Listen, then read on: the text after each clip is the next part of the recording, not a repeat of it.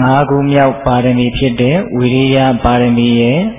6ခုမြောက်ပါရမီဖြစ်တဲ့ခန္တီပါရမီရဲ့တဲ့ဒီပါရမီနှစ်ပါးကိုဦးဇင်းတို့စပြီးတော့ပြောကြရအောင်ကရုဏာတိတလဟရယံပညာပိဇောတဝိဟတမောဟဓမ္မံ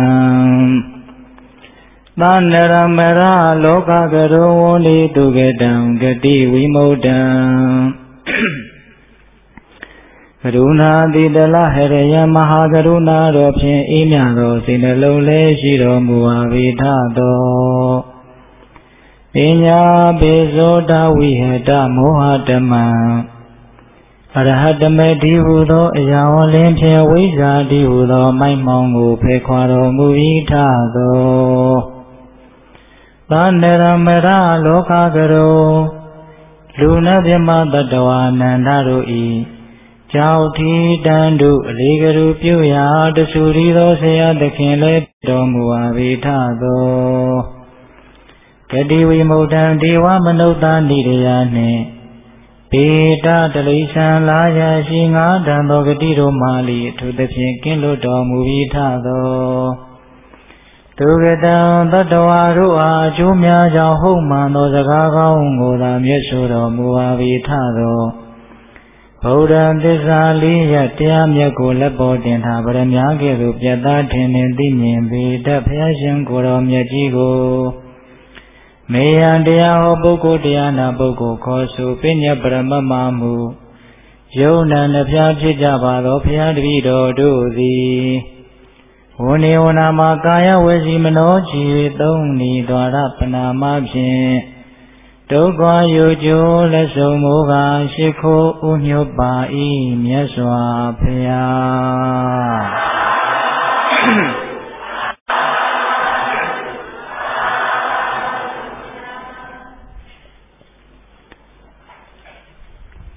သစ္စာပါရမီတဲ့ဝိစီနံတောတတာတခိတတ္တမံသစ္စာပါရမီ ဘုဗကေဟိမဟေတိဟိအာတိဝိတနိတိဝိတံဝိစီနံတောစူးစမ်းဆင်ញင်သည်ရှိသောတရားထိုခါ၌ဘုဗကေရှိ၌ဖြစ်ကုန်သောမဟေတိဟိဘုရားရှင်ကိုယ်တော်မြတ်ကြီးတို့သည်အာတိဝိတနိတိဝိတံအမြဲမပြတ်မိဝဲအပ်တော်ငါးခုမြောက်ပါရမီဖြစ်တဲ့ဝိရိယပါရမီရဲ့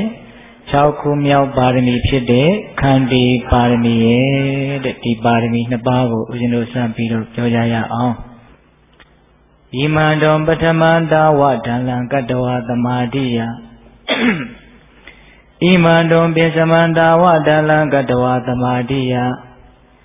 ဝိရိယံပါရမိတံကန္တဝတံဘောဓိံပါပုနိပတိသူမေရာပန္တိတဩပညာရှိ တွန်သင်သည်ဘောဓိအရတမေညာသဗ္ဗညုတညာသို့ပတ်တုံရောက်ခြင်းငါယရိအိစတိအကယ်၍အလိုရှိတယ်ဆိုရင်ယင်စမံငါးခုမြောက်သောဣမံဤဝိရိယပါရမီကိုတမာတိယကောင်းစွာစောင့်တည်ပါလော့ဝိရိယပါရမီဝိရိယပါရမီကိုကိစ္စပူရေယဖြည်စည်းပါလော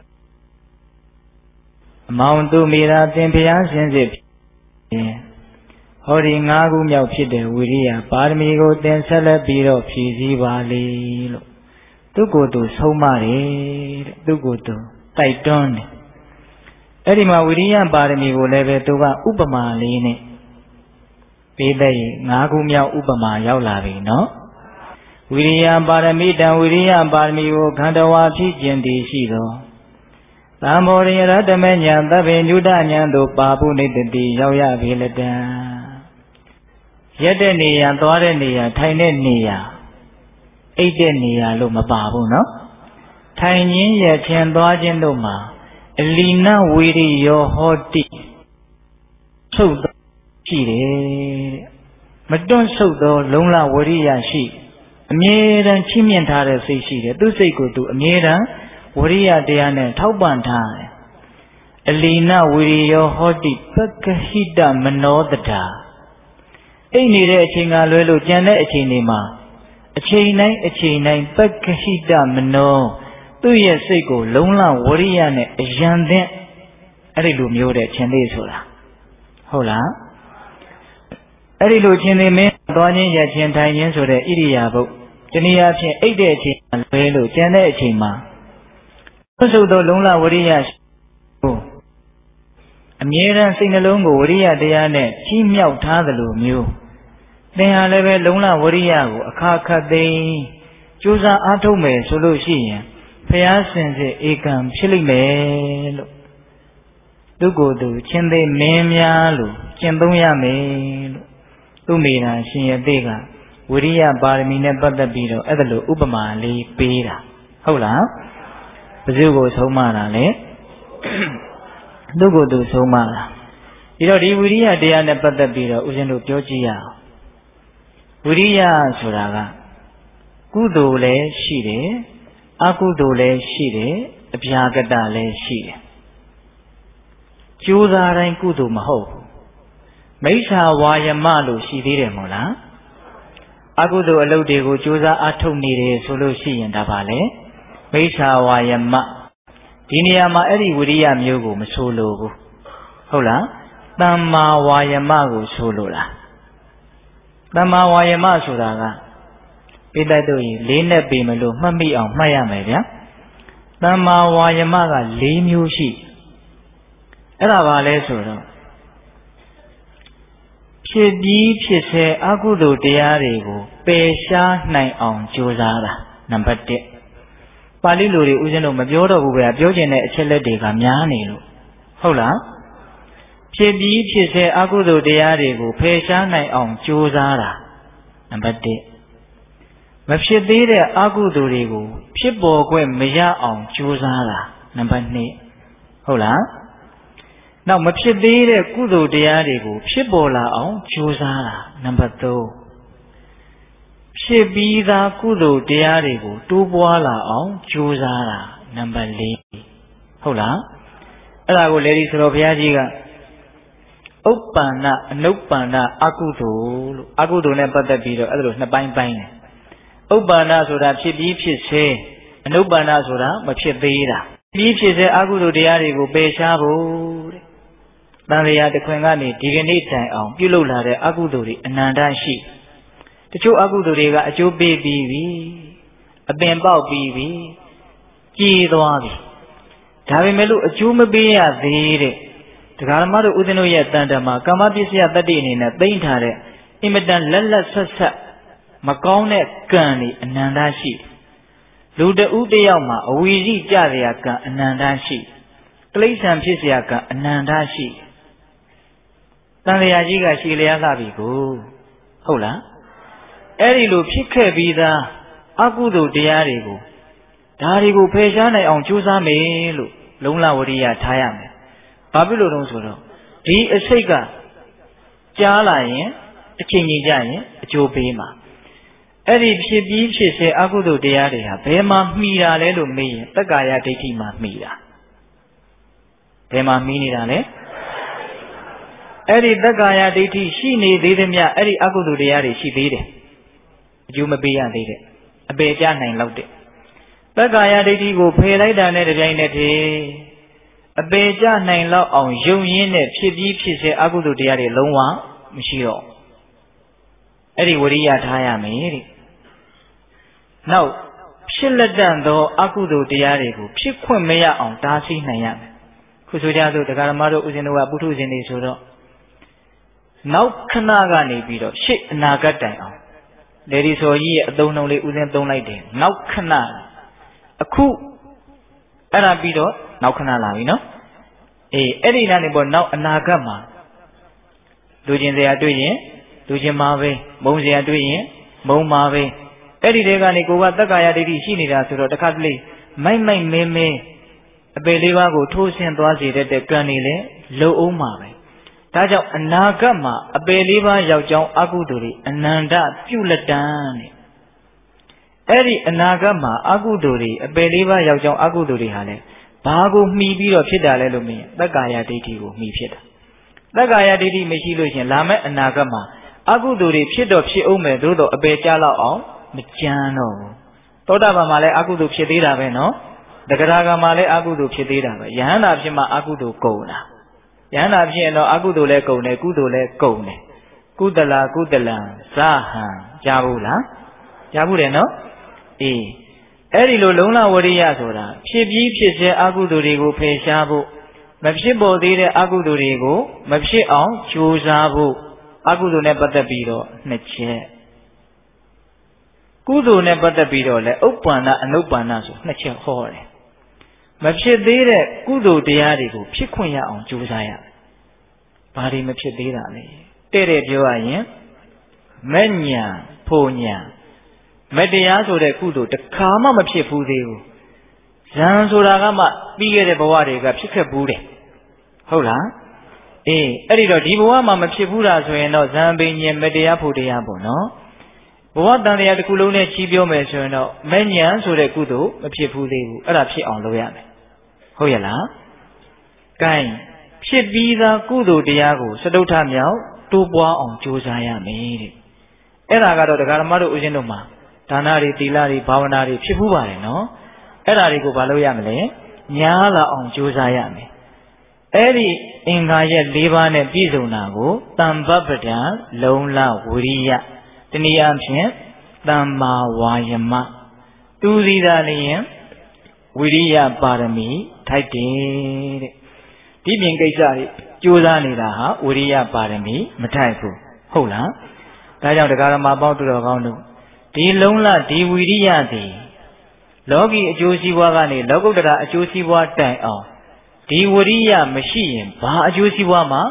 မရနိုင်ဘူးဟုတ်ရဲ့လားဒါကြောင့်ဦးဇင်းတို့ဝရိယရဲ့အကျိုးအပြစ်ကလေးကိုအကျဉ်းမြင်လေးပြောပြမယ်ဒုက္ခဘိကဝေကုတိတောဝိဟရတိဟောကိနောပါပကေဟိအကုတလေဟိဓမ္မေဟိမဟာတင်္စာတတ္တဓံပရိဟာပေတိဒီဘေကဘာပြောတာလဲဆိုတော့ လုံလဝရိယမရှိပြင်းကြီးတဲ့ပုဂ္ဂိုလ်ဟာတဲ့အကုသိုလ်တရားတွေနဲ့သူ့ရဲ့စိတ်ဟာရောနေတဲ့အတွက်ကြောင့်အဲ့ဒီအခိုက်အတန့်မှာသူဆင်းရဲနေတယ်တဲ့သဘောပေါက်တယ်နော်လုံလဝရိယမရှိခုနတုန်းကလုံလကိုပြောတာနော်ခုနတုန်းကတမ္ပပဒလုံလဝရိယမျိုးမရှိတဲ့ပုဂ္ဂိုလ်ဟာအကုသိုလ်အညစ်အကြေးတွေနဲ့သူ့ရဲ့စိတ်ဟာရောနေတဲ့အတွက်ကြောင့်အဲ့ဒီအခိုက်အတန့်မှာသူဆင်းရဲနေတယ်တဲ့ပြီးတော့ဗာဆက်ပြတုံးဆိုတော့ တတ္တထံမဟာတန်ကြီးကျယ်စွာသောတတ္တထံမိမိရဲ့အကျိုးစီးပွားကိုပရိဟာပေတိဆုံးရှုံးစေတယ်။ပြင်းတဲ့ပုဂ္ဂိုလ်ဟာကိုရမဲ့အင်မတန်ကြီးကျယ်တဲ့အကျိုးစီးပွားကိုဖျက်ဆီးပစ်တာ။ခုတရားဓမ္မတို့ဦးဇင်းတို့မဉ္ဇဉ်ဘုံဉဏ်ရနိုင်ခွင့်ရှိတယ်။ဝိပဿနာဉာဏ်တွေရနိုင်ခွင့်ရှိတယ်။ကိုကပြင်းနေတယ်ဆိုရင်အဲ့ဒီလောက်အကျိုးကြီးတဲ့အကျိုးစီးပွားတွေဟာမရတော့ဘူး။ဟုတ်ရဲ့လား။ ဒါကြောင့်ပြင်းတဲ့ပုဂ္ဂိုလ်ဟာနံပါတ်1အကုသိုလ်တွေနဲ့ရောတဲ့အတွက်ကြောင့်အဲ့ဒီအခိုက်အတန့်မှာဆင်းရဲတယ်။နံပါတ်2အင်မတန်ကြီးကျယ်တဲ့အကျိုးစီးပွားတွေဆုံးရှုံးသွားတယ်။ပြင်းရတာကောင်းလား။မကောင်းဘူး။လုံလဝရိယရှိတဲ့လူကြတော့ပြောင်းပြန်မယ်တဲ့။အာဒတဝိရိယေနာခောဘိကဝေဒုက္ခံဝိဟရတိ ပါဝီဝိထောပါပကေဟိအာကုတလေဟိဓမ္မေဟိမဟာတင်္စာတတ္တထံပရိပူရေတိအဓိပ္ပာယ်ကဘာပြောတာတော့လုံလဝရိယတရားနဲ့ပြည့်စုံတဲ့ပုဂ္ဂိုလ်လုံလလို့ပြောလိုက်တဲ့ခုနကသမ္ပပဒံလုံလဝရိယ၄ပါးလို့စိတ်ထဲမှာမြင်ရမယ်နော်အဲ့ဒီလုံလနဲ့ပြည့်စုံတဲ့ပုဂ္ဂိုလ်ဟာတဲ့အကုသိုလ်တရားတွေနဲ့သူ့ရဲ့စိတ်ဟာကင်းကွာနေတဲ့အတွက်ကြောင့်အဲ့ဒီအခိုက်အတန့်မှာသူချမ်းသာနေတယ်တဲ့ဟောဒီလူတွေဉာဏ်ရှိတယ်နော် ဒါနားလည်နိုင်တယ်နော်အေးလုံလဝရိယရှိနေတဲ့အခိုက်မှာသူ့ရဲ့စိတ်ဟာအကုသိုလ်တွေနဲ့ကင်းကွာနေလို့ဘာဖြစ်နေတယ်ချမ်းသာနေတယ်ပြီးတော့ဘာဖြစ်တုံဆိုတော့မဟာတန်စကြီးကျယ်တဲ့တတ္တထမိမိရဲ့အကျိုးစီးပွားကိုပရိပူရီတိပြီးဆုံးစေတယ်ကိုကခုနတုန်းကလုံလဝရိယမျိုးကြိုးစားနေတော့ရရှိတဲ့ရရှိတဲ့အကျိုးစီးပွားတွေကိုရအောင်လုပ်ပြီးသားဖြစ်သွားတယ် ဒါကြောင့်လုံလဝရိယရှိခြင်းသည်အကုသိုလ်တွေနဲ့ကင်းကွာတဲ့အတွက်ကြောင့်အဲ့ဒီအခိုက်အတန့်မှာချမ်းသာတယ်ဟုတ်ရဲ့လားကြီးကျယ်တဲ့အကျိုးစီးပွားကို ရှာမိပြီးသားဖြစ်တယ်။ဘယ်နှချက်လဲ။နှစ်ချက်။အဲ့ဒီလောက်ကြီးကျယ်တဲ့အဲ့ဒီလောက်အကျိုးရှိတဲ့ဝိရိယပါရမီကိုတရားဓမ္မတို့ဦးဇင်းတို့တွေလောကီအကျိုးစီးပွားကိုပဲလိုလားကိုပဲဖြစ်စီလောကုတ္တရာအကျိုးစီးပွားကိုပဲလိုလားလို့ပဲဖြစ်စီမရှိရင်အဲ့ဒီအကျိုးစီးပွားတွေရနိုင်မှာမလား မရနိုင်ဘူးလောကီလေးလို့စပြီးတော့ပြောခြင်းနေဗျာဦးဇင်းတို့မြတ်စွာဘုရားကတရားမင်းကြီးရဲ့အကြောင်းကိုမကြာခဏဟောဘူးတယ်တရားမင်းကအင်မတန်အစွမ်းထက်တယ်တကယ်သူတော်ကောင်းကြီးပါတရားကလေအဲ့ဒါကိုဦးဇင်းတို့တန်ရုပ်ပါဠိတော်မှာတက္ကတန်ရုပ်ဆိုပြီးတော့တခန္တနာမှတ်တမ်းတင်ထားတာရှိတယ်တရားမင်းနဲ့ပတ်သက်ပြီးတော့အဲ့ဒါကိုမြတ်စွာဘုရားကခြေသားတို့တဲ့ရှေးတုန်းကဖြစ်ဖူးတာလေးတခုငါပြောပြမယ် နတ်ပြည်မှာကုသိုလ်ကောင်းမှုရဲ့အကျိုးပေးကိုခံစားပြီးတော့လုံလဝရိယမထုတ်ဖဲနေမယ်ဆိုရင်နေနိုင်ခွင့်ရှိတဲ့နတ်ပြည်မှာဖြစ်ခဲ့တာအဲ့ဒါနတ်တွေနဲ့အတူဓာတွေနဲ့ဆစ်ဖြစ်တော့အတူဓာတွေကတာဝရိနာနတ်ပြည်ကိုချီတက်လာတဲ့အင်းနဲ့အားနဲ့အဲ့ဒါကိုတရားမင်းကသိတော့သူ့ရဲ့သားသူ့ဝီရကိုခေါ်ပြီးတော့ချက်သားအတူဓာတွေချီတက်လာတယ်မင်းအဲ့ဒါရှိကနေကြိုးပြီးတော့သွားတားဆီးရေစစ်ပြင်ပြီးတော့စစ်ထွက်လို့ခိုင်းတယ် ကောင်းလာပါပြီအရှင်တရားမင်းလို့ဝန်ခံပြီးတော့မေ့နေတယ်ဒုတိယအကြိမ်ခိုင်းနေမေ့နေတယ်တတိယအကြိမ်ခိုင်းနေမေ့နေတယ်အဲ့ဒီလိုမေ့နေတော့သုံးကြိမ်မြောက်မေ့နေတော့တရားမင်းကသိမရှိတော့ဘူးသူသားကိုဘာပြောတော့ဆိုတော့ဂါထာလေးနဲ့ပြောတယ်အဲ့ဒီဂါထာလေးဒကမာကြီးတွေကြက်ပြီးတော့ကိုသားသမီးတွေကိုဆုံးမရင်ကောင်းမှာပဲဟုတ်လားကိုသားသမီးမဆုံးမရင်ကိုကိုကိုအရင်ဆုံးမရင်ပိုးတောင်ကောင်းလိုက်အောင်မယ်နော် အနုထာအဝါယမဒုက္ခယတရာဒိကိစတိသူဝီရာတတ္ထကေသာဟိမင်းစာတထေဝပါပယသူဝီရာจิตတာသူဝီရာအနုထာထကြွလုံလမရှိပါပဲနဲ့အဝါယမဘာမှမကြိုးစားပါပဲနဲ့ယတရအကျင်ရက်၌ဒုက္ခချမ်းသာဒုက္ခကိုအဓိကိစတိရနိုင်တယ်ဆိုညာအံငါသာတဲ့ မကြိုးစားပဲနဲ့လုံလမထုတ်ဖဲနဲ့ချမ်းသာတဲ့အရက်ရှိတယ်ဆိုလို့ရှိရင်တတ္ထထိုအရက်တို့တွန်တင်သည်ကိစ္စသွားပါလောအဲ့ဒီအရက်ကိုမင်းအရင်သွားလိုက်စမ်းတဲ့နော်တတိဝထိုအရက်ကိုသာလည်းမင်းစားငါကိုလည်းပဲပါပယပို့ပေးစမ်းပါဟောမလုတ်ဖဲနဲ့ဝရိယမတုတ်ဖဲနဲ့ချမ်းသာတဲ့နေရာလေးများရှိရင်မင်းအရင်သွားစမ်းပါ ပြီးရင်လည်းငါ့ကိုပို့စမ်းပါတဲ့အဲ့ဒီအရက်ကို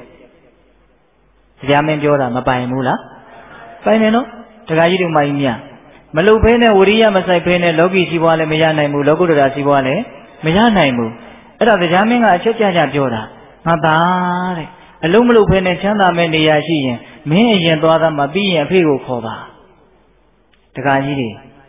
တရားမင်းကိုကျေးဇူးတင်နေတယ်ဗျာအိမ်ရောက်ရင်အဲ့ဒါပြောရဟုတ်လား အေးအဲ့ဒီလိုပြောတော့သုတိမကသူ့ဝီရကပြန်ပြီးတော့ဆင်ញေကလေးနဲ့အဲ့ဒါတရားမင်းကလည်းအဲ့ဒါထပ်ပြီးတော့ပြောတာပဲအဲ့ဒီလိုပြောတော့မြတ်စွာဘုရားကချက်သားတို့တဲ့တတိချာချာစဉ်းစားကြ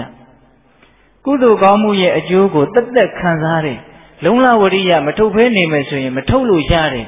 နတ်တွေတောင်မှလုံလဝရိယရဲ့အကျိုးကျေးဇူးကိုအဲ့ဒါလိုပြောသေးတယ်ဆိုရင် ကောင်းကောင်းကြည့်ရင်တန်လျာဝုတ်ကလွတ်နိုင်တဲ့ငါသာသနာမှာနေကြတဲ့သင်္ချစ်သားတွေကပြင်းနေမယ်ဆိုရင်ဘယ်မှာလာကောင်းတော့မလဲတဲ့မြတ်စွာဘုရားရဲ့ကရုဏာတော်နော်အေးဒါကြောင့်တရားကြီးဒီမိုင်းများမလုတ်ဖဲနဲ့ဝရိယမဆိုင်ဖဲနဲ့ချမ်းသာမဲ့နေရာရှိရင်မင်းတို့သွားကြသမ်းမှပြီးရင်ငါ့ကိုလည်းပဲခေါ်ပါဆိုတဲ့စကားလေးကိုမှတ်သားထားဖို့မလိုဘူးလားလိုတယ်ဗျဒီတော့ဦးဇင်းတို့ဆက်ပြီးတော့ပြောချင်တာက လုံလဝရိယရှိတယ်မရှိဘူးဆိုတဲ့နေရာမှာအတိတ်ကပါလာတဲ့ဓာတ်တတိတွေပါလဲနည်းနည်းတော့မူတည်ပုံရတယ်နော်တချို့ကမွေးကစပြီးတော့ပြင်းလာကြည့်လိုက်ရင်ခွေးလို့ဟုတ်လားတချို့ကြရင်ကြည့်ရတာကိုတက်တက်ကြွကြွနဲ့အမြဲတမ်းလန်းလန်းဆန်းဆန်းရှိနေတာဟုတ်လားအဲ့ဒါကသူကဖြစ်လျာဘဝမှာဝိရိယပါရမီကိုဖြည့်ဆည်းခဲ့တဲ့ပုဂ္ဂိုလ်တွေက လုံးလာကြုတ်ကိုအထုတ်ခဲ့တဲ့ပုဂ္ဂိုလ်တွေကဓာတ်တတိတွေကလိုက်နေပြီးတော့သူကအရှိန်တွေကပါနေတာကိုဗျဟုတ်လားဒါကြောင့်တတိစတော်ကြီးကတော့သူကပြောတယ်အဲ့လူလူတွေဟာတဲ့ပြင်းတဲ့လူတွေဟာဘာနဲ့တူတုံးဆိုတော့ခွေးဖြူတောမတိုးဆိုတဲ့ဗမာစကားပုံနဲ့တူတယ်တဲ့ခွေးဖြူတွေဟာအင်မတန်ကြောက်တတ်တယ်လို့ဆိုတယ်ဟုတ်မဟုတ်တော့ကျုပ်လည်းမစမ်းဘူးပါဘူးဒါပေမဲ့စာထဲကတော့အဲ့လိုတွေ့တယ်လူတွေလည်းအဲ့လိုပြောတာပဲဟုတ်လားဘာလဲဆိုတော့ ဖြစ်လျာဘဝကအပြင်းတက်ခံနေပါတဲ့ပုဂ္ဂိုလ်တွေဟာတဲ့ဟေးမင်းမအိပ်ဖဲနဲ့လုပ်ရမယ်ဆိုလို့ရှိရင် तू နောက်ဆုတ်သွားတာဟုတ်လားမင်းအစားကိုချိုးချံရမယ်ဆိုရင် तू နောက်ဆုတ်သွားတာမင်းအပေါင်းဖော်တွေနဲ့ကင်းပြီးတော့တယောက်တည်းနေရမယ်ဆိုဟာမဖြစ်ဘူးနောက်ဆုတ်သွားတာမင်းအကြာကြီးလောက်ရမှာတော့ဆိုရင်နောက်ဆုတ်သွားတာမင်းဆွဲဆွဲမြဲမြဲလုံးမရမှာဆိုရင်ဟာဒီတော့ကြီးတော့မလုံနိုင်ဘူးဆိုပြီးတော့နောက်ဆုတ်သွားတာဝရိယရှိတဲ့လူတွေကြတော့အဲ့လိုမဟုတ်ဘူး ရမယ်သာသေးကြပါစေအခုပဲရနေသလိုမျိုးဟုတ်လားသေးသေးကြည်ကြည်ချမှာပဲဆိုပြီးတော့လှုပ်တာအဲ့ဒါမလှုပ်တဲ့ပုဂ္ဂိုလ်ပြင်းတဲ့ပုဂ္ဂိုလ်တွေဟာအဲ့ဒီခွေးပြူတွေနဲ့တူတယ်တဲ့ခွေးပြူတွေကတထောင်လောက်မြင့်တဲ့ခြုံကလေးမဲရိုင်းပင်ကလေးမျက်ခြုံပုတ်ကလေးတွေ့ရင်ဟာသင်မြန်းရှိမှလားကြားမှန်းရှိမှလားဆိုပြီးတော့အနာမတိုးရဲဘူးတဲ့ဟုတ်လားလန့်နေတာလန့်နေတာဘာကိုလန့်နေတာလို့ အလုတ်ကိုလန့်နေတာဒါကြောင့်ဝီရိယဆိုတဲ့စကားဝီရရှင်းရှင်းတာနော်အလုတ်ကိုလုံးဝမကြောက်ဘူးလုတ်ပြလိုက်မယ်ကင်ပြလိုက်မယ်ရတာမရတာကအဲ့ဒီအလုတ်ရဲ့နောက်ဆက်တွဲအကျိုးပဲသူကတော့လုံမှာပဲဟင်တခါကြီးဒီမိုင်းမြအဲ့ဒါလိုမျိုးရဲရင်တဲ့စိတ်တက်နဲ့ဘာလို့ရမလဲလုံလဝရိယရှိအောင်ကြိုးစားရမယ်အဲ့ဒီမှာဦးဇင်းတို့က ပြင်းတဲ့ပုံကိုယ်နဲ့လုံလရှိတဲ့ပုံကိုယ်တွေရဲ့တွေးတဲ့နေရာမှာကြွာချားပုံကလေးကိုနည်းနည်းပြောခြင်းဘာလို့ဒါလေးကိုပြောခြင်းတာတုံးဆိုတော့ကိုကတကယ်လို့မြင်ပြင်းနေတယ်ဆိုရင်ဝရိယရှိအောင်ဘလို့တွေးမလဲဆိုတဲ့တွေးနည်းကလေးကိုသိသိခြင်းလို့တနည်းအားဖြင့်လည်းပဲငါတို့တွေးနေတာတွေကလူပြင်းတွေးတွေလားဒါမှမဟုတ်ဝရိယရှင်ရဲ့အတွေးတွေလားလို့ကိုအတွေးလေးကိုလည်းစစ်ဆေးနိုင်အောင်လို့ဟုတ်လား မြတ်စွာဘုရားကဟောတဲ့အင်္ဂုတ္ထုပါဠိတော်မှာအထက်ကနိဗ္ဗာန်မှာဟောထားတာရှိလုံလဝရိယရှိခြင်းရဲ့အကြောင်းလုံလဝရိယမရှိခြင်းရဲ့အကြောင်းဟုတ်လားအဲ့ဒီမှာဘာဟောတော့ဆိုတော့ပြင်းတဲ့လူတွေဟာကြမ်းဖန်ပြီးတော့ပြင်းတာတဲ့ဘယ်လိုလဲဆိုတော့အမှုကိစ္စတွေတစုံတရာအလုပ်ကိစ္စတွေကြုံတော့မယ်ဆိုရင်သူကစဉ်းစားတယ်ဟာမကြခင်ငါအလုပ်တွေလုပ်ရတော့မှာအလုပ်တွေလုပ်ရရင်တော့ပင်ပန်းမှာပဲ အဲ့တော့အဲ့ဒီအချိန်မှာငါပင်ပန်းတာကိုကြိုတင်ပြီးတော့ကာမိအောင်အခုတော့ငါအနားယူပြီးတော့အိတ်နေအောင်မှဖြစ်မယ်လို့အဲ့လိုစဉ်းစားတယ်တဲ့အလုပ်လုပ်ခါနီးမှာဟုတ်လားဒါကအလုပ်ကိစ္စတွေမကြုံခင်မှာသူ့ရဲ့လူရင်းရဲ့စဉ်းစားနီးနံပါတ်1နော်နောက်ပြင်းတဲ့လူကဘယ်လိုစဉ်းစားတော့ဆိုတော့အလုပ်ကိစ္စတွေပြီးပြီဆိုတော့လေသူကဘယ်လိုစဉ်းစားတော့ဟာအလုပ်တွေအများကြီးလုပ်ခဲ့ရတယ်ငါသိပ်ပန်းတာပဲ ဒါကြောင့်ဒီအချိန်တော့နားအောင်မှဖြစ်မယ်အိတ်အောင်မှဖြစ်မယ်ဆိုအိတ်လိုက်ပြန်လာပဲတဲ့ဘယ်နှချက်ရှိပြီတော့နှစ်ချက်ရှိပြီဗျဟုတ်လားကအဲ့ဒီပြင်းတဲ့လူကတခါတလေခရီးသွားတွေကကြုံတယ်ဆိုကြပါစို့ခရီးသွားတွေကလည်းလူတိုင်းမှာရှိတတ်တယ်လေအေးခရီးသွားလို့ရှိရင်မြင်ရမှနဲ့ဆင်းရမှနဲ့ဟိုကြတော့ဘာဒီကြတော့ဘာရောင်တောင်ရောင်တောင်နဲ့ခရီးသွားလို့ရှိရင်ခေါင်းရှုပ်စရာတွေနဲ့ပင်ပန်းမှာပဲအဲ့ဒီတော့ခရီးမသွားခင်ကနည်းနည်းလေးတော့အနားယူအောင်မှဖြစ်မယ်ဆိုပြီးတော့ ပြင်းနေပြန်နေတဲ့ခရီးသွားလို့ပြန်လာပြီဆိုတော့လေဟာငါခရီးကအခုမှပြန်လာတာခဏလောက်တော့နားအောင်မှပေါ့အလုတ်တန်းလို့လို့ဘယ်ဖြစ်မှလဲဆိုပြီးတော့နားပြန်ရောတဲ့ဘယ်နှချက်ရှိပြီတော့လေးချက်ရှိပြီယဟန်တော်တွေကိုဟောတာဆိုတော့ဆုံးခံသွားတယ်ဆုံးဟင်းကလည်းသိပ်ပြီးတော့မရဘူးသွားရတာလည်းဝေးလိုက်တာပင်ပန်းလိုက်တာဆုံးကလည်းမဝတဝလေးဖြစ်နေတယ်ဆိုရင်ဟာသွားရတာလည်းပင်ပန်းနေငါခန္ဓာကိုသိပ်ပြီးတော့မပြည့်စုံဘူး အဲ့ဒီတော့ငါတက်တက်တာတာနေတာကောင်းတယ်ဆိုပြီးတော့အိတ်နေပြန်ရောတဲ့ဟုတ်လား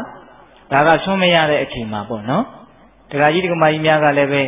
ကိုနဲ့ဆက်ဆက်မှုရှိအောင်ယူပြီးတော့တွေးပေါ့စားမကောင်းတောက်မကောင်းတဲ့အချိန်ဆိုရင်လည်းနည်းနည်းလေးတော့နားလိုက်အောင်မနဲ့ဒူပါရဲ့ပေါ့ဟုတ်လားကင်စားလို့တောက်လို့ကောင်းပြီစားတဲ့ကတော့ဆုံးခံလို့ဆုံးရင်းတွေကလည်းပြီးပြီးဆုံးဆုံးရပြီတကယ်ကိုပဲတခါတဲ့ဘိုက်ကိုတင်းပြီးတော့နေပြန်တော့လေ ငါပဲကိုရေးစိမ်ထားတယ်လို့ငါရဲ့ဘိုက်ကြီးလေးနေတယ်တဲ့ဒါကြောင့်မို့အလုံးလုံးလို့မဖြစ်သေးဘူးဒီတရင်ကတော့ငါနားလိုက်အောင်မယ်အိတ်လိုက်အောင်မယ်ဆိုပြီးတော့အိတ်နေပြန်ရောတဲ့ဘယ်နှချက်ရှိပြီတော့6ချက်ရှိပြီအမှုကိစ္စလှုပ်လက်တံလှုပ်ပြီးခยีသွားလက်တံသွားပြီးဟုတ်လားဆုံးခံလို့မရခြင်းရှားခြင်းနောက်တစ်ချက်ကဘာလဲဆိုတော့အနာယောဂလေးနည်းနည်းဖြစ်လာတယ်ခေါင်းလေးနည်းနည်းမူးတယ်ဟုတ်လား ဘိုက်ကလေးနည်းနည်းနာတယ်ဆိုပါတော့ဘာမှန်းဖြစ်မှလည်းမသိဘူးတတလေးနေအောင်မှအဲ့လိုစဉ်းစားတာတဲ့ပြင်းတဲ့လူကဟုတ်လားအဲ့ဒီလိုနဲ့အဲ့ဒါပြင်းပြီးတော့နေပြန်ရော့တယ်နာယောဂလေးကဖြစ်တာနည်းနည်းဟုတ်လားတခါအနာယောဂတွေဖြစ်ပြီးတော့အနာယောဂပျောက်ပြီဆိုပြန်တော့လည်းပဲဟ ဟာငါတော်တော်ပင်ပန်းခဲ့တာအခုမှနလန္ဒရှိသေးတယ်ဘယ်အလုပ်လုပ်လို့ဖြစ်သေးမှလဲလို့စဉ်းစားပြန်နေတဲ့အလုပ်လုပ်เสียအချိန်ကိုမရှိဟင်ဒကမာကြီးတွေ အဲ့ဒါရှင်းမျိုးနော်အဲ့ဒါဘဇုရဲ့အတွေ့လေပြင်းတဲ့လူတွေရဲ့အတွေ့တနည်းအားဖြင့်ပြင်းရင်းရဲ့အကြောင်းအံ့ဩစရာကောင်းတယ်ဗျာလုံလဝရိယရှိခြင်းရဲ့အကြောင်းကလည်းဒီရှိချက်ပဲဖြစ်နေတယ်ဘယ်လိုများတွေးလိုက်တာလဲဒါကလေးသတိထားနော်အဲ့ဒီလူကလည်းဒီလိုအတွေ့အကြုံတွေတွေ့တာပဲသူ့လည်းလုံးစရာရှိတယ်ခီးသွားတယ်ရှိတယ်ဆုံးခံလို့ရတာမရတာရှိတယ်အနာရောဂါဖြစ်တာမဖြစ်တာမရှိဘူးလားရှိတယ်သူကဘယ်လိုတွေးတုံဆိုတော့ မှုပိစ္ဆတွေလောက်ရတော့မယ်ဆိုရင်သူကစဉ်းစားတယ်ဟာအလုတ်တွေရှုပ်နေလို့ရှိရင်မြတ်သောအကျင့်ကိုကျင့်ဖို့မလွယ်ဘူးခေါင်းအင်မတန်၆တယ်အဲ့ဒီတော့အလုတ်ရှုပ်နေတဲ့အချိန်မှာကောင်းတာလုပ်ဖို့ခဲရင်းတယ်အဲ့ဒီတော့အဲ့ဒီအလုတ်တွေမလုပ်ရသေးခင်မှာမရသေးတဲ့တရားတို့ကိုရအောင်မျက်မှောက်မပြုတ်ရသေးတဲ့တရားကိုမျက်မှောက်ပြုတ်အောင်အပတ္တိယမရသေးတဲ့တရားကိုပတ္တာပတ္တုံရောက်ချင်းကနော်တစ္ဆိကိရိယာယမျက်မှောက်မပြုတ်ရသေးတာကိုမျက်မှောက်ပြုတ်ဖို့ရ ငါကြိုးစားလိုက်မယ်ဆိုပြီးတော့ကြိုးစားတာတဲ့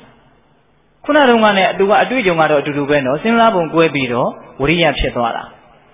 အလုတ်တွေလုတ်ပြီးပြန်တော့လေကြည်စမ်းငါအလုတ်လုတ်ခဲ့တုန်းကကောင်းတာတွေဘာမှမလုပ်ရဘူးအလုတ်ထဲမဲ့ဇောကပ်ပြီးတော့နေတာဆုံးရှုံးလိုက်တာအဲ့တော့အလုတ်လုတ်ပြီးပြီးချင်းငါကောင်းတဲ့အကျင့်ကိုကျင့်မှဖြစ်မယ်ဆိုပြီးတော့ဝရိယတွေဖြစ်လာပြန်ရောတဲ့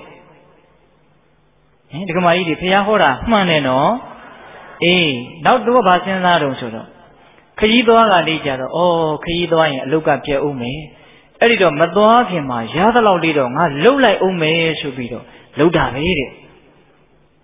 ခကြီးကပြန်လာတော့ကြည်စမ်းငါအချိန်လေးပုတ်ခဲ့တာငါဘာမှကောင်းတာမလုပ်ခဲ့ရဘူးအချိန်လေးတကားကုန်သွားတာ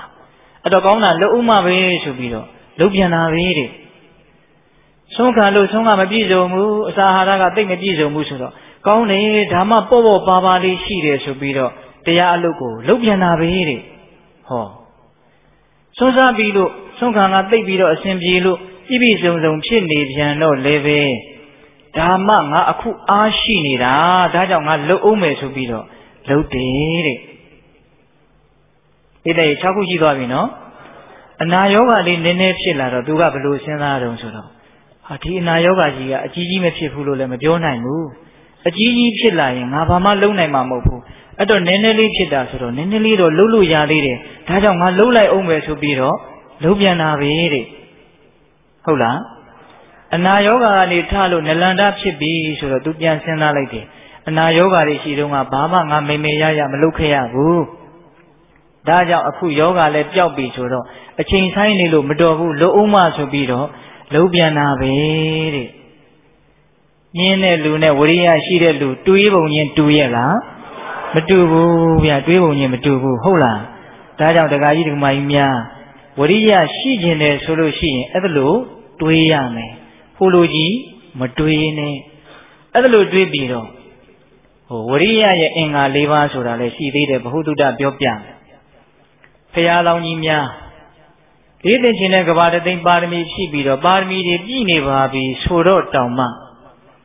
တောထွက်သွားပြီဆိုတော့အ ਨੇ ဆုံးဒုက္ခရစရိယာ 6ရက်တော့ကျင့်ရသေးတာပဲဟုတ်လားအဲ့ဒီလိုကျင့်တဲ့အခါမှာသူကဘယ်လိုလေးအဋိဌာန်တုံးဆိုတော့ဟောဒီငါရဲ့အရေးသာကြံ့ကျင်ကြံပါစီအကျောသာကြံ့ကျင်ကြံပါစီအယိုးသာကြံ့ကျင်ကြံပါစီ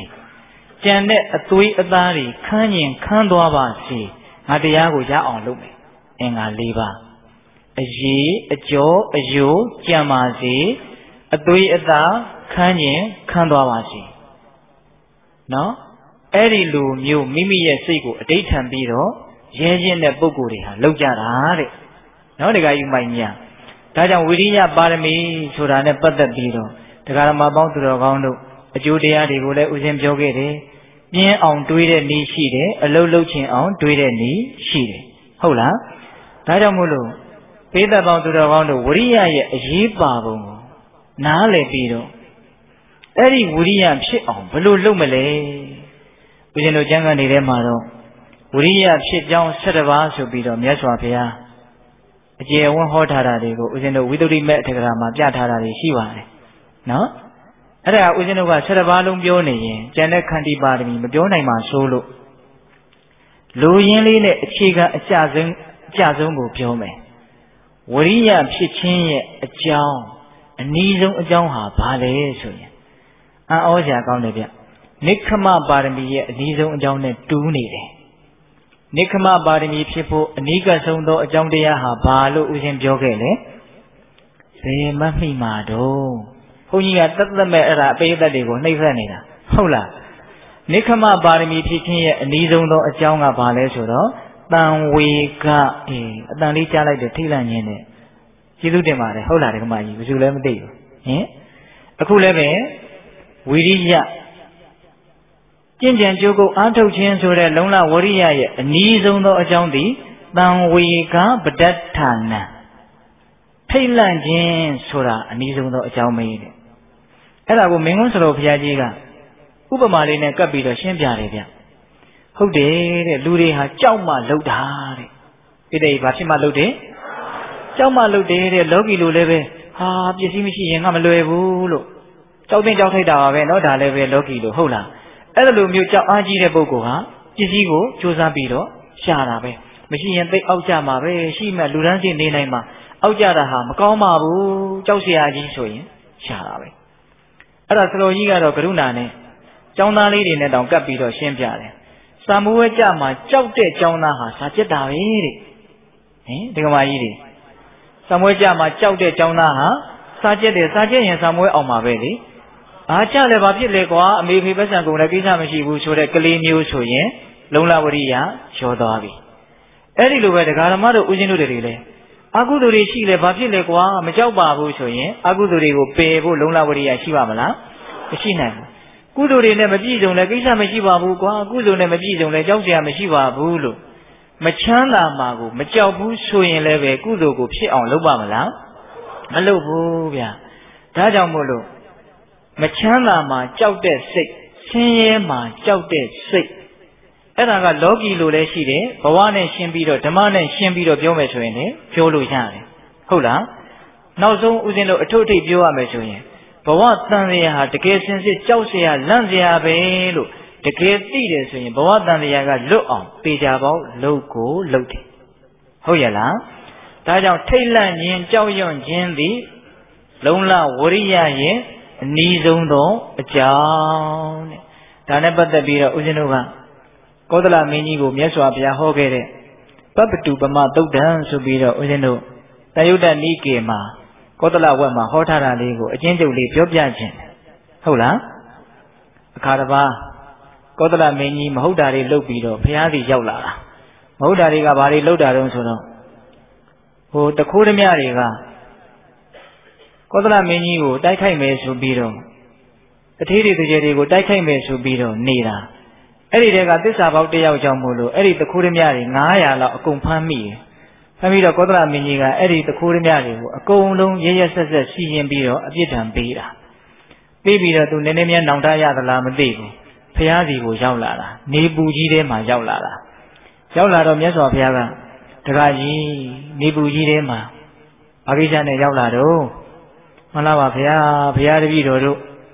ရှင်ဘုရင်နေဆိုတာအင်မတန်လုံများပါတယ်ဘုရားသူလျှောက်ပြောတာဟုတ်လား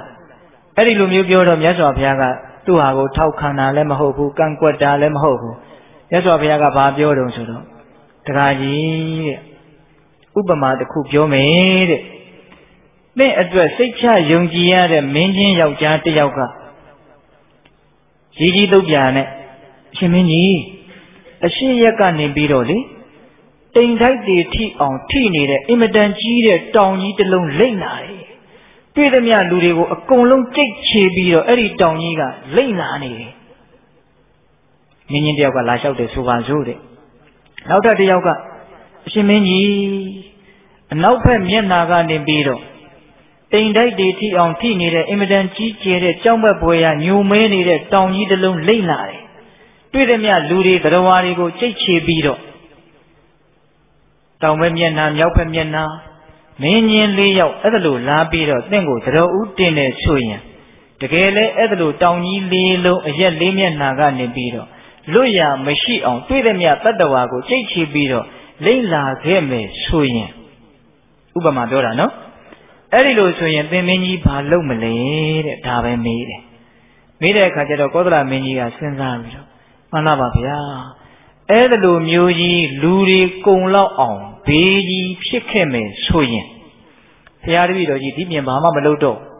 ကောင်းတာတွေအကုန်လုံးထိုင်ပြီးတော့လုပ်နေတော့မှာပဲစဉ်းစားနေတော့မှာပဲမကောင်းတာတွေကိုအကုန်လုံးဖယ်ဖို့ကြိုးစားနေတော့မှာပဲမြတ်မြတ်တတကျင့်သုံးဖို့ပဲဘုရားတပည့်တော်ကြီးကြိုးစားနေတော့မှာပဲတဲ့အဲ့ဒါလောက်ကြီးကျယ်တဲ့ဘေးကြီးမျိုးမဖြစ်စဘူးအဖြစ်ထူးပြီးတော့ဖြစ်ခဲ့မယ်ဆိုရင်ဖြစ်တော့မဖြစ်ပါဘူးเนาะ ဒါပေမဲ့ဖြစ်ခဲ့မယ်ဆိုရင်သူဘာလုပ်မယ်မကောင်းတာတွေကိုရှောင်ဖို့ကြိုးစားမယ်ကောင်းတာတွေကို ပြုလုပ်ဖို့ကြိုးစားပါမယ်တဲ့အဲ့ဒီမှာမြတ်စွာဘုရားကတခါကြီးတဲ့အဲ့ဒီတောင်ကြီးလေးလုံးမျိုးလိမ့်လာသလိုအိုခြင်းသေခြင်းဆိုတဲ့တရားတွေဟာတတ္တဝါတွေကိုအကုန်လုံးကုံအောင်ကြိတ်ချေဖို့နေရာဒေသအသီးသီးကနေလိမ့်လာတဲ့တောင်ကြီးတွေတစ်ဖွဲ ဘယ်နေရာကလိမ့်လာတာလဲဆိုတော့ကိုယ်ခန္ဓာကိုယ်ကနေကိုယ်လိမ့်လာတာပါပဲဟုတ်လားဒီတော့ဒကာကြီးဒီမကြီးများကစဉ်းစားမယ်နော်လူတွေအကုန်လုံးသေလောက်အောင်ကြိတ်ချေသွားမဲ့ဘေးကြီးမျိုးကတော့ရှိမှာမဟုတ်ပါဘူးလို့ထင်ကောင်းထင်လိမ့်မယ်နော်လူတွေတတ္တဝါတွေသက်ရှိတတ္တဝါတွေအကုန်လုံးသေသွားအောင်ကြိတ်ချေမဲ့ဘေးကြီးမျိုးရှိမရှိစဉ်းစားကြည့်စမ်းပါရှိလားဒကမကြီးတွေရှိလားပဂရိတောင်ကြီးတွေကတော့လိမ့်မလာဘူးဗျာ ဒါပေမဲ့တိတိကျကျလေးစဉ်းစားကြည့်ဦးစင်းကလည်းစဉ်းစားမိတာလေးကိုပြောကြည့်ချင်တာတတ္တဝါတွေအကုန်လုံးဘာဖြစ်ကြမှာလဲသေကြမှာဗျာဘယ်သူကြံမှာလဲဘယ်သူမှမကြံဘူးအကုန်သေမှာဒါပေမဲ့အရင်ပေါက်တဲ့လူကအရင်သေနောက်ပေါက်တာလေးတွေကကြမ်းတော့လူတွေကမသေးဘူးလို့ထင်နေတာလေဟင်ရိုးရိုးလေးနော်ရိုးရိုးလေးနော်ဒီလူတွေအကုန်လုံးဘာဖြစ်မယ်တတ္တဝါတွေအိဋ္ဌာန်တွေအကုန်လုံးအကုန်သေးမှာအကုန်သေးမှာတယောက်မကြံအကုန်သေးမှာဘယ်သူမှကြံခွင့်မရှိဘူး ဒါပေမဲ့နောက်ပေါက်နောက်ပေါက်လေးတွေကရှိနေတော့လူတွေကမသေးဘူးလို့ထင်နေတာရောဟာရောဟာနဲ့သွားနေတဲ့လူတွေလည်းမြင်နေတာအဲ့တော့ဘလို့ဖြစ်နေတော့ဆိုပြူပြူပျောက်ပျောက်ဟိုတယောက်ဆွဲသွားဒီတယောက်ဆွဲသွားပျောက်ကြားစနစ်နဲ့လုပ်နေတာပြီးရင်အကုန်ကုန်မှာဟုတ်လားဒါပေမဲ့နောက်ထပ်မွေးလာတာမွေးလာတာတွေကလည်းရှိနေတော့ကုန်နေရော့တယ်လို့မထင်ဘူးဒါပေမဲ့ညံလေးနဲ့စဉ်းစားကြည့်စမ်းပါအကုန်လုံးပေကြပေါက်ကုန်းကိုကုန်မှာဟုတ်လားအေးအဲ့ဒီဘေးကြီးမျိုးနော် မှန်လဲဆိုတော့ဘုရားကြီးကအဲ့ဒါကိုလင်္ကာလေးရှိပါတယ်မိုးပြာဒီနီးကြောက်တိပြည်သာတောင်ကြီးကြိတ်ကြိတ်လေးလုံပိတ်လို့ခြေကျိတ်ညက်စွာလေးမျက်နာကလွရမရှိလာတုံပြီသူမိုးပြာဒီနီးကြောက်တိပြည်သာတောင်ကြီးကြိတ်ကြိတ်လေးလုံပိတ်၍ခြေကျိတ်ညက်စွာလေးမျက်နာကလွရမရှိလာတုံပြီသူဇာတိစရာပြာတိမရဏဓမ္မာပြဤတရားတို့ ထွားတော်ညက်ကြည်ထွားတော်ကြိတ်ချီညက်ညက်ကြည်အောင်မြဲနေနှိမ့်စာနှိမ့်ဆက်စွာသည်ခန္ဓာကိုယ်ကြီးကသေမှာဗျနော်တခါကြီးမိုင်ညာအဲ့ဒီလိုသေမဲ့အရင်ကိုတစ်ချက်ကလေးလောက်စဉ်းစားမိတာနဲ့လုံလဝရိယသည်တစ်ချက်ကလေးတိုးသွားတယ်ဆိုတာသေချာပေါက်တွေ့ရလိမ့်မယ်နော်ဒါကြောင့်တန်ဝေကထိတ်လန့်ခြင်းသည်ဝရိယဖြစ်ခြင်းရဲ့အကြောင်းတရားဆိုတာလက်တွေ့စမ်းကြည့်လို့ရတယ်နော်အ ကုန်လုံးပျက်စီးကြရမှာမပျက်စီးခင်နေရတဲ့အချိန်လေးမှာပျက်စီးမှာကိုစဉ်းစားလိုက်တာနဲ့တပြိုင်တည်းထဲကြံတဲ့အချိန်လေးကိုပိုးတန်ဖိုးထားတယ်နော်သိခြင်းတရားကိုစဉ်းစားလို့စိတ်ဓာတ်တွေကြမယ်လို့မထင်ပါနဲ့စိတ်ဓာတ်တွေကတက်တောင်လာသေးတယ်ဘလို့တက်လာတော့ဆိုတော့ဟာကြံတဲ့အချိန်လေးကိုငါတန်ဖိုးထားမှဖြစ်မယ်ကောင်းတာလုံးမဖြစ်မယ်လို့သူ့မှာအင်မတန်အတိပ္ပယ်ရှိတဲ့အတွေးအတိပ္ပယ်မရှိအတိပ္ပယ်ရှိတဲ့နေထိုင်မြည်ခြင်းမျိုးသာလျှင် ဆက်ပြီးတော့ဖြစ်သွားတာဟုတ်လားဒါကြောင့်ဦးဇင်းတို့ဝိရိယပါရမီနဲ့ပတ်သက်ပြီးတော့ပြင်းထန်တဲ့လုံလဝိရိယကိုရခြင်းတယ်ဆိုလို့ရှိရင်တန်ဝေကဖြစ်ခြင်းမှာအကြီးဆုံးအကြောင်းဖြစ်တဲ့သိခြင်းတရားကိုစဉ်းစားပါဘယ်အချိန်ဘယ်ကာလမှာသိမင်းနှင်မယ်ဆိုတာဘယ်သူမှမသိနိုင်ပါဘူးဟုတ်ရဲ့လားအေးဒါဥစဉ်တို့ဝိရိယပါရမီနဲ့ပတ်သက်ပြီးတော့ပြောသွားတာလေနော် အချိန်ရှိသွားပြီဝိရိယပါရမီနဲ့ပတ်သက်ပြီးတော့လူတွေတခါကြီးတွေဒုမကြီးတွေကြည်ရတာစိတ်ဝင်စားပုံရပါတယ်ဟုတ်လားဒါကြောင့်မိမိရဲ့ဘဝမှာလောကီအကျိုးစီးပွားကိုပဲဖြစ်စေလောကုတ္တရာအကျိုးစီးပွားကိုပဲဖြစ်စေဆောင်ကျင်းပေးနိုင်တဲ့အဓိကတော့ချက်ဖြစ်တဲ့ဝိရိယပါရမီကိုပြည့်အောင်တရားဓမ္မပေါင်းသူတော်ကောင်းတို့တပွဲရှင်သေမင်းကြီးတပွဲဟုတ်ရလားရှင်သေမင်းနဲ့ဥပမာပေးတာနော် ဒီကာရသာသားတို့တနင်ရှင်သေမင်းသည်နိသေဇာဌာနာစင်ကမိသွားခြင်းရခြင်းထိုင်ခြင်းတို့၌အလီနာဝိရိယောမတွန့်ဆုတ်သောလုံလဝိရိယရှိသည်ဟောတိဖြစ်၏တရာခါခသိမ့်ပကဟိတမနောချီးမြှောက်အပ်သောကြိုးစားအပ်သောလုံလဝရိယရှိသောစိတ်ရှိသည်ဟောတိယထာဖြစ်တဲ့ကဲ့သို့ဗန္ဒီတာသူမေရာအမောင်းသူမေရာတွန်ပိသင်သည်လီသဗ္ဗဗဝေအလုံးစုံသောဘဝတို့၌ ဝိရိယံဝိရိယပါရမီကိုဒါလံမြဲမြဲမြတ်မြတ်ပက္ကဏချီးမြှောက်ပါလေဝိရိယပါရမီဝိရိယပါရမီကိုကန္တဝါဖြစ်ခြင်းသည်ရှိသောတွန်ပိသင်သည်လီသာမောရိယရတမေညာသဗ္ဗညုတညာကိုပါပုနေတတိရောက်ရလေတည်းဣတိဤသို့အတ္တနာမိမိကိုယ်ကိုဩဝရီဆုံးမတော်မူခဲ့လေတည်း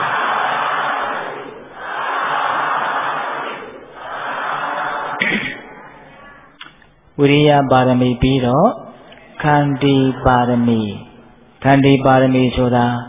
ဒီခံခြင်းလို့အကြမ်းမြင်အဖြစ်တော့နားလည်ထားကြတာပေါ့နော်အဲ့ဒါကိုဦးဇင်းတို့စပြီးတော့ပြောရအောင်ဝိစီနံတောတရာတခိဉ္စတမံခန္တိခန္တိပါရမီပုဗ္ဗကေမေတိဟိအာတိဝိတနိတိဝိတံဣမံတုံသတ္တမန္တာဝဒလံကတဝသမာရိယ ခန္တိပါရမိတံခန္တဝါတံဘောဓိခန္တိပါရမိတံကိစ္ဆာယတိဘောဓိပတ္တုမိတ်သတိဝိစီနံတောစူဇံဆင်ញင်သည်ရှိသောတရားထိုခါ၌ပုဗ္ဗကေဟိရှိ၌ဖြစ်ကုန်သောမဟိတိဘုရားရှင်ကိုတော်မြတ်ကြီးတို့သည်အာသေဝိတနိသေဝိတံအဖန်ပန်အမြဲမပြတ်မိဝဲအပ်သော သတ္တမံ6ခုမြောက်ဖြစ်သောခန္တီပါရမီခန္တီပါရမီကိုအတ္တခိတွေ့မြင်တော်မူပြီဖျားဖြစ်ကိုပြုတဲ့တာဒီ၅ပါးမြမကပြီဘူးတဘာဝတရားတွေကိုဖျားဖြစ်တဲ့တရားကိုဆက်လက်ပြီးတော့စူးစမ်းရှာဖွေတဲ့အခါသတ္တမမြောက်ခန္တီပါရမီကိုသူတွေ့ပါတယ်တဲ့ဣမံတွန်သတ္တမန္တာဝဒလံကတဝသမာတိယ ခန္တီပါရမီတံကိစ္ဆာယရိဘောဓိပတ္တုမိတ်စတိသူမေရာပန္တိတအိုပညာရှိအမောင်သူမေရာတွန်သင်သည်ဘောဓိအရတမညာသဗ္ဗညုတညာလို့ခေါ်ရတဲ့ဘုရားဖြစ်သူပတ္တုံရောက်ခြင်းကယရိအိစတိအကယ်၍အလိုရှိတယ်ဆိုရင်သတ္တမ6ခုမြောက်ဖြစ်သောဣမံဤခန္တီပါရမီကို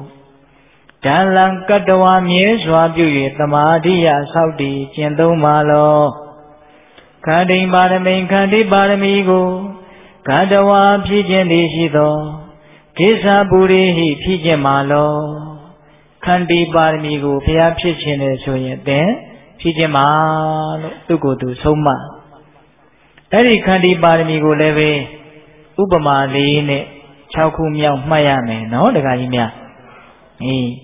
အဲ့ဒါဥပမာနဲ့သူကဘယ်လိုဆုံးမလဲသူကိုယ်သူဘယ်လိုဆုံးမလဲဆိုတော့ယထာပိပထဝီနာမနေခိတံအာတုစိန်သူစိန်သဗ္ဗံတဟတိနေခိပံနာကရောတိပရိခံတရားတတိဝါတွန်ပိသဗ္ဗေတံသမာနာဝမာနခမောခန္ဒီပါရမိတံကန္တဝတံဘောဓိပါပုနိတတိသူမေရာပန္တိတအိုပညာရှိအမောင်သူမေရာ သူကသူအဲ့လိုလေးခေါ်ခေါ်ပြီးတော့သူကစဉ်းစားတာနော်ယထာပိဥပမာအားဖြင့်ပထဝီနာမမြေကြီးဆိုတာသူစိမ်ပြီးစင်ကြယ်သည်ကို၎င်းအတုစိမ်ပြီးမစင်ကြယ်သည်ကို၎င်းနေခိပံပြစ်ချအပ်သောတပ်ပါအလုံးစုံသောအရာတို့ကိုတဟတိတိခံ၏မြေကြီးဆိုတာတဲ့သူ့အပေါ်မှာစင်ကြယ်တာတွေပဲဖြစ်ဖြစ်မစင်ကြယ်တာတွေပဲဖြစ်ဖြစ် ပြစ်ချလိုက်တယ်ဆိုရင်ဘာမှခွန်းတုတ်မပြန်မဲနဲ့ပြီးခံပြီးတော့နေနေတာတဲ့ဒါတင်စားပြောတာနော်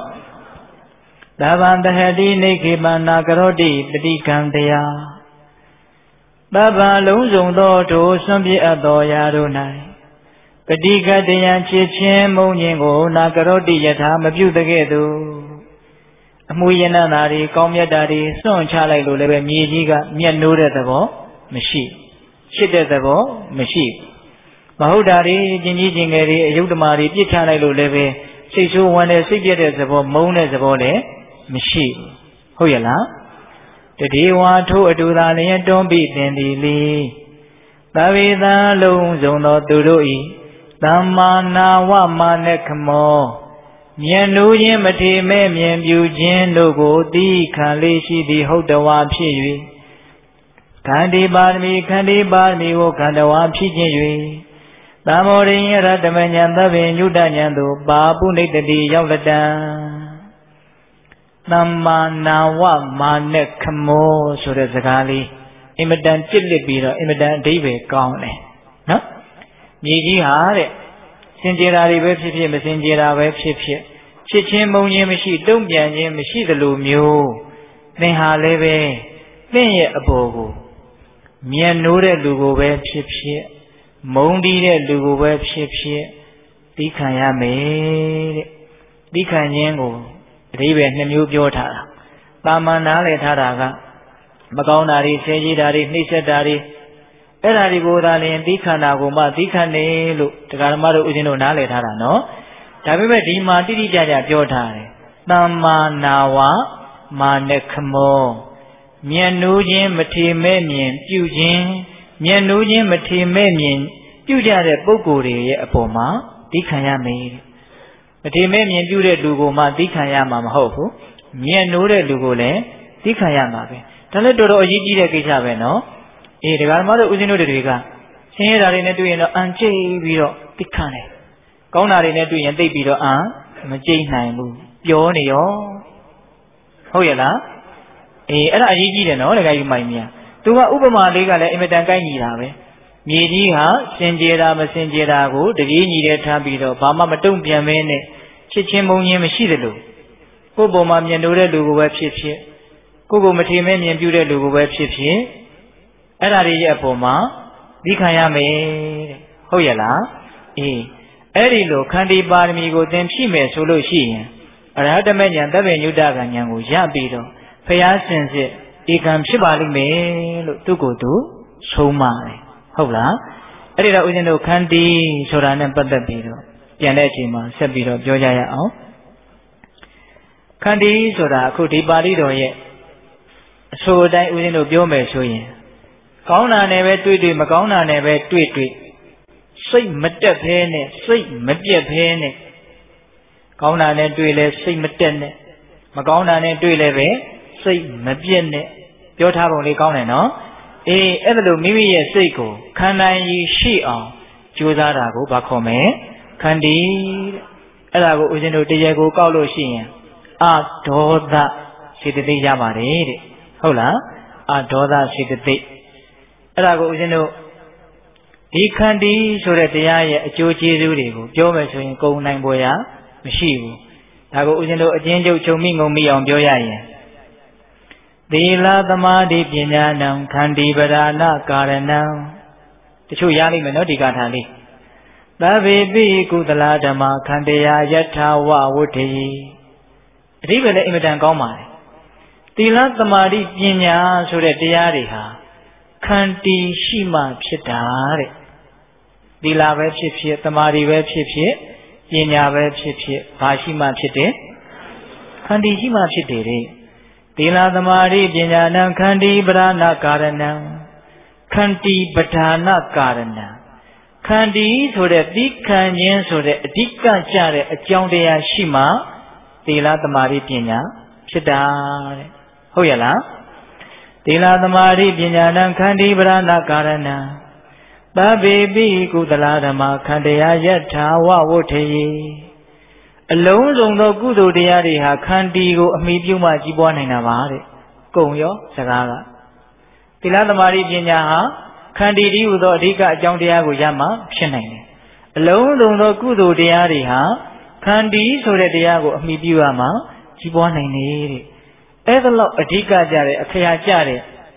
ဧကံခြင်းဆိုတဲ့တရားကိုတရားဓမ္မတို့ဦးဇင်းတို့တပည့်နိဗ္ဗာန်ကိုတကယ်ရခြင်းနဲ့ဆိုရင်တကယ်ကြိုးစားဖို့မလိုဘူးလား လိုတယ်အဲ့ဒါနဲ့ပတ်သက်ပြီးတော့ဒီတိခံခြင်းဆိုတဲ့တရားတွေကိုဆန့်ကျင်ဘက်ဒေါသဖြစ်ခြင်းရဲ့အကြောင်းတိခံခြင်းရဲ့ဆန့်ကျင်ဘက်ကဒေါသပဲလေအာဒေါသရဲ့ဆန့်ကျင်ဘက်ကဒေါသပဲလေအဲ့ဒီဒေါသတွေဘာကြောင့်ဖြစ်တယ်လဲဘ ഹു တုတလေးအကြံမြင်ကလေးဦးဇင်းတို့ကျမ်းဂန်တွေထဲမှာအာဃာတဝတ္ထု၉ပါးဆိုပြီးတော့ပြောထားတာရှိနော်ဒေါသဖြစ်ခြင်းရဲ့အကြောင်း၉ပါး ကိုချစ်တဲ့လူကြောင့်လည်းဒေါသဖြစ်ရတယ်ကိုမုန်းတဲ့လူကြောင့်လည်းဒေါသဖြစ်ရတယ်ကိုကိုယ်တိုင်ဒီဟုသောအကြောင်းကြောင့်လည်းဒေါသဖြစ်ရတယ်အဲ့ဒါလေးကိုမြတ်စွာဘုရားဟောထားတယ်ဘလို့ကိုကြောင့်ကိုဒေါသဖြစ်ရလဲဆိုတော့ဒီလူဟာငါရဲ့အကျိုးစီးပွားမဲ့ကိုဟိုတုန်းကလည်းလှုပ်ဖူးတယ်ဒါကြောင့်ငါမုန်းတယ်ဒီလူဟာငါရဲ့အကျိုးစီးပွားမဲ့ကိုအခုလဲလှုပ်နေတယ်ဒါကြောင့်ငါမုန်းတယ်ဒီလူဟာ ငါရဲ့အကျိုးစီးပွားမဲ့ကိုနောင်လဲလှုပ်ဖို့အလားလာရှိတယ်ဒါကြောင့်ငါကြိုးပြီးတော့မုန်းထားလိုက်မယ်ငါနဲ့ပတ်သက်ပြီးတော့ဘယ်နှချက်သုံးချက်ငါရဲ့အကျိုးစီးပွားမဲ့ကိုငကိုယ်တုံးကလည်းလှုပ်တယ်အခုလည်းလှုပ်တယ်နောင်လည်းလှုပ်မှာပဲဒါကြောင့်ငါမုန်းတယ်၃ပါးငါနဲ့ပတ်သက်ပြီးတော့၃ပါးနောက်ငါချစ်တဲ့လူနဲ့ပတ်သက်ပြီးတော့၃ပါးလာလိမ့်မယ်ဒီလူဟာငါချစ်တဲ့လူရဲ့အကျိုးစီးပွားမဲ့ကို ငကိုယ်တုံးကလည်းလှုပ်တယ်ဒါကြောင့်မုန်းတယ်အခုလည်းလှုပ်တယ်ဒါကြောင့်မုန်းတယ်နောင်လည်းလှုပ်မှာပဲဒါကြောင့်မုန်းတယ်ဘယ်နှပါးရှိ6ပါးရှိသွားပြီနောက်ကိုမုန်းတဲ့လူနဲ့ပတ်သက်ပြီးတော့မုန်းတာရှိသေးတဲ့ဗျာကြိုမြန်စဉ်းစားမိမလားမသိဟင်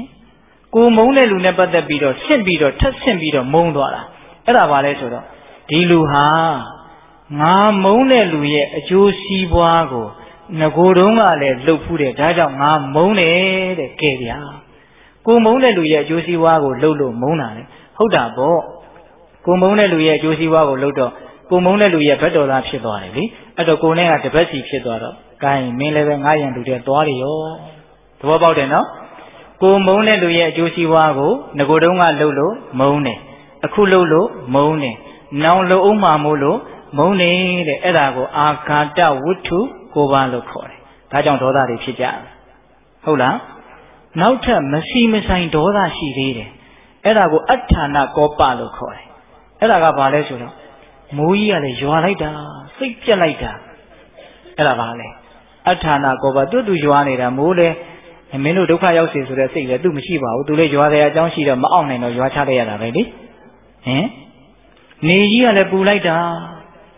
စိတ်တူနေတာနော် လေးတိုက်တော့လည်းတိုက်ပြန်ပြီဘလောက်ထိဆိုးတော့ဆိုတချို့ခလုတ်တိုက်တာတောင်တိုက်အောင်ဆိုပြီးတော့ထပ်ပြီးတော့ကန်လိုက်သေးတယ်ခေါင်းနဲ့တိုက်တော့ခေါင်းနဲ့ဆောင်းလောက်အောင်မိုက်တဲ့လူရှိရနော်အေးအဲ့ဒါပါတော့အဋ္ဌာဏကောပါတဲ့ဟုတ်ရဲ့လားအဲ့ဒီတော့သီးခံခြင်းရဲ့အကြောင်းတရားကိုနားထောင်မယ်ဆိုရင်ဒေါသရဲ့အကြောင်းတရားတွေလည်းနားထောင်ဖို့လိုတယ်ဟုတ်လားဒါကြောင့်ဒကာကြီးဒကာမကြီးများအင်မတန်အရေးပါအရာရောက်တဲ့ခန္တီနဲ့ပတ်သက်ပြီးတော့ဦးဇင်းတို့ပြောကြရတယ်အများကြီးဒီမှာ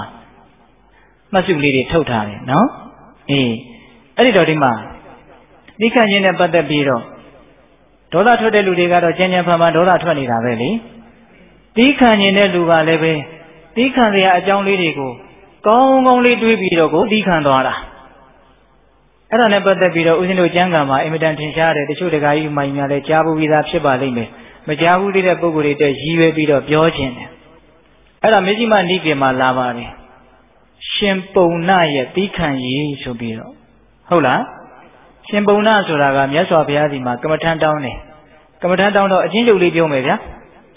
ဖြစ်တာတဲ့ဆွဲလန်းရင်ဆင်းရဲမယ်မဆွဲလန်းရင်ဆင်းရဲချုပ်တယ်အချင်းချုပ်ပဲနော်ကျင်းလိုက်တာမှဟင်တခါကြီးမိုင်းမြဆွဲလန်းရင်ဆင်းရဲမယ်မဆွဲလန်းဘူးဆိုရင်တော့ဆင်းရဲချုပ်မယ်အဲ့ဒီလိုပြောတော့သူသဘောကျပြီးတော့မှန်တော့ပါဗျာတပည့်တော်အဲ့လိုဆိုရင်ကမ္မထန်တရားကျင့်သုံးမယ် မင်းပဲကြွမှာတော့တုနာပရန္တအတိုင်းကိုကြွမယ်ဖေရအဲ့ဒီလိုပြောတဲ့အခါကျတော့မြတ်စွာဘုရားကချက်သားတုနာပရန္တအတိုင်းသားတွေဟာအင်မတန်ကြမ်းတမ်းတယ်ခက်ထန်တယ်အင်မတန်ရိုင်းနေတကယ်လို့မင်းကိုသူတို့ကဆဲရေးမယ်ထုတ်ချင်မယ်ဆိုရင်မင်းဘယ်လိုလုပ်မလဲတဲ့အဲ့ဒီတော့ရှင်ဘုံနာကဘာပြောတုံဆိုတော့သူနာပရန္တတိုင်းသားတွေဟာတော်ကြပါပြီတဲ့ငါ့ကိုဆဲရေးယုံသာဆဲရေးတယ်ချုပ်ချယ်ယုံသာချုပ်ချယ်တယ်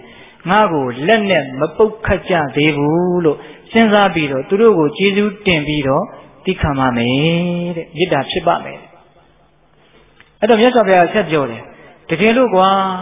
မင်းကိုလက်နဲ့ပုတ်ခတ်လာပြီကိုရီလက်ရောက်စော်ကားလာပြီဆိုမင်းဘလို့စိတ်ကူးမလဲဘလို့စဉ်းစားမလဲတဲ့သူနာပရန္တတိုင်းသားတွေဟာတော်ကြပါပြီတဲ့ငါ့ကိုလက်နဲ့သာလင်ပုတ်ခတ်ယုံပုတ်ခတ်သေးတယ်ဒုံနဲ့မရိုက်ကြသေးဘူးဒါကြောင့်တော်ကြပါပြီတဲ့ကဲစဉ် သိခံတဲ့လူကအဲ့လိုကြင်ကြံဖန်ဖန်စဉ်းစားတာနော်သူ့ရဲ့စဉ်းစားပုံလေးကိုဦးဇင်းတို့ကမျက်နှိုးစရာကောင်းတာသိလားအဲ့ဒီလိုပြောတော့မြတ်စွာဘုရားကတကယ်လို့ဒုံနဲ့ရိုက်ခဲ့မယ်ဆိုရင်ကောမင်းဘယ်လိုစဉ်းစားမလဲတဲ့အဲ့ဒီတော့မြတ်စွာဘုရားတဲ့သူနာပရန္တတိုင်းတိုင်းသားတွေဟာအင်မတန်တော်ကြပါပြီတဲ့တတိတော်ကိုဒုံနဲ့သာလည်းရိုက်သေးတယ်ဓာတ်နဲ့မခုတ်ကြသေးဘူးလို့တတိတော်စဉ်းစားပြီးတော့မေတ္တာဖြစ်စီမယ်တဲ့ ဓာတ်နဲ့ခုတ်ခဲ့ရင်ကောမင်းဘယ်လိုစဉ်းစားမလဲမှန်လားပါဗျာဓာတ်နဲ့သာခုတ်တာအသေးတော့မသက်သေးဘူးတော်သေးတယ်လို့တပည့်တော်စဉ်းစားပြီးတော့သိခံပါမယ်တဲ့အဲ့တော့จิตသားတကယ်လို့ဒီကောင်တွေကသိကြမ်းတယ်မင်းကိုအသေးသက်ခဲ့မယ်ဆိုရင်ကောမင်းဘယ်လိုလုပ်မလဲတဲ့အဲ့ဒီတော့ရှင်ဘုံနာကဘာပြောတုံဆိုတော့မြတ်စွာဘုရားတဲ့တချို့ပုဂ္ဂိုလ်တွေများခန္ဓာကိုယ်ကြီးကိုညှင်းငွေပြီးတော့ကိုယ့်ကိုယ်ကိုတတ်သေးတာရှိတယ်တဲ့ရှင်သန္တာတို့ နော်တတ်သေးတာရှိတယ်နော်အေးဂေါဒီကတို့တတ်သေးတာရှိတယ်နော်အဲ့ဒီပုဂ္ဂိုလ်တွေသူတို့ကိုယ်သူတို့တတ်သေးရသေးတယ်တပည့်တော်မယ်ကိုယ့်ကိုယ်ကိုတတ်မသေးရဘဲနဲ့တတ်ပေးမဲ့လူရှိတယ်ဆိုတော့ကျေးဇူးတင်မယ်တဲ့ကဲဟင်တခါကြီးဒီမိုင်းမြအေးအဲ့ဒီလိုရှင်ပုံနာရဲ့သီးခံနိုင်တဲ့စွမ်းအားအဲ့ဒီတော့မြတ်စွာဘုရားတာဓုခေါ်တယ်ဗျာစိတ်သာကြွစီစွတ်လိုက်တယ်ဟိုလဲရောက်ရောက်အဲ့ဒီဝါတွင်အတွင်းမှာပဲအဲ့ဒါလောက်မြင့်မြတ်စင်ကြယ်တဲ့ ဓာတ်ခံကောင်းတဲ့ပါရမီရင့်တဲ့သီးခံခြင်းနဲ့ပြည့်စုံတဲ့ပုဂ္ဂိုလ်ကြီးဗျာသူ့ကိုဘယ်သူကနှိမ့်ဆက်မှာလဲအကုန်လုံးဥပဒကာတွေ900လောက်ယဟန္တာတောင်ဖြစ်တယ်လို့ဆိုတယ်ဟုတ်လားအဲ့ဒါသူလည်းပဲအဲ့ဒီဝါထဲမှာယဟန္တာဖြစ်တယ်နောက်အဲ့ဒီမှာပဲပြိဋိဘံဆံပါတယ်ရှင်ပုံနာရဲ့အကြောင်းဟုတ်ရဲ့လားဒါကြောင့်ဒကာဓမ္မတို့ဦးဇင်းတို့ရဲ့ဘဝမှာပြီးခံခြင်းဆိုတဲ့လက်နဲ့ဟာအင်မတန်လိုတယ်လို့ဦးဇင်းကထင်တယ်ဘာဖြစ်လို့လဲဆိုတော့ဘဝကြီးကိုဝါစပြီးတော့ မင်းစိတ်တိုင်းကြငါဖန်တီးပေးထားမယ်လာပြီးတော့တတ်တတ်တာကနေလှဲ့ဆိုပြီးတော့တည်တည်ချာချာကြိုးစိုးနေတဲ့အခြေအနေမျိုးဟုတ်လားဖြစ်ခြင်းတယ်လို့ဖြစ်ပြီးတော့တွေ့ခြင်းတဲ့လူနဲ့တွေ့နေရတာနော်ဒီပြင်နေရာမှာမပြောနဲ့ကိုယ်အိမ်မှာရှိတဲ့လူကိုစိတ်တိုင်းကြတဲ့လူများလားစိတ်တိုင်းမကြတဲ့လူများလားအဲ့ဒါသစ္စာစကားဟုတ်ရဲ့လားတခါကြီးမိုင်းများအေးအဲ့တော့ဘယ်နဲ့လုပ်ရမှာလဲတီးခံရမှာပေါ့အဲ့ဒီလူတွေကိုတီးမခံနိုင်လို့မင်းငါအိမ်မနေနဲ့ဆိုတော့ဖြစ်မှာလားငါဒီအိမ်မနေတော့ဘူးဆိုတော့ကော အဲ့လိုလည်းမလုပ်နိုင်ပါဘူးအဲ့တော့အတူတူနေရမယ့်အတူတူကတော့ပြည်လေအောင်သိခံလိုက်တာကကောင်းတယ်လို့ဦးဇင်းကတော့ထင်တယ်ဟုတ်လားဒါကြောင့်သိခံရမယ်နော်လေကကြီးမိုင်မြအေးအဲ့တော့သိခံဖို့စဉ်းစားမယ်ဆိုရင်လည်းသိခံဖို့ကသိပြီးတော့မခက်ပါဘူးမခက်ပါဘူးဆိုပေမဲ့လို့လွယ်တယ်လို့လည်းမအောင်မိနဲ့နော်လူတိုင်းဒီစာမျိုးပဲကတော့ကြတယ်ထင်တာပဲဟုတ်လားအေးအခက်လို့ကြတာလားကိုကညံ့လို့ကြတာလားဆိုတာတော့ကိုယ့်ဟာကိုယ်စီစစ်ကြမှာ ဟမ်တခါကြီးဒီမိုင်မြဒီမိကုန်းကပိုးတောင်ရေးကြီးသွားတယ်ခက်လို့ကြတာလားညံ့လို့ကြတာလားနှမျိုးရှိတယ်နော်ကြတယ်ဆိုတာကခက်ရင်လည်းကြတာပဲမခက်ပေမဲ့လို့လုံးဝကိုညံ့နေပြီဆိုရင်လည်းကြပြန်တာပဲအဲ့ဒီတော့ဦးဇင်းတို့ခန္တီနဲ့ပတ်သက်ပြီးတော့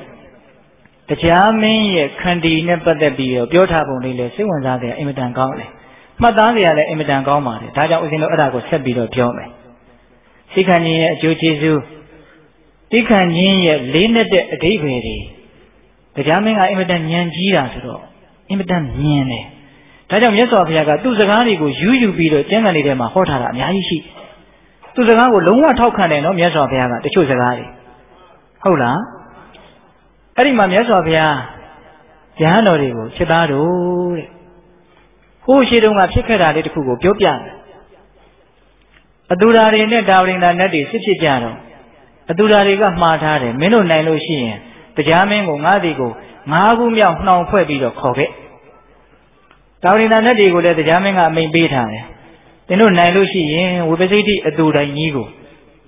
ငါးခုမြောက်အနှောင်ဖွဲ့ဖွဲ့ပြီးတော့ငါးဒီကိုခေါ်ခဲ့အဲ့ဒါအတူဓာတွေရှုံးနေဗျာ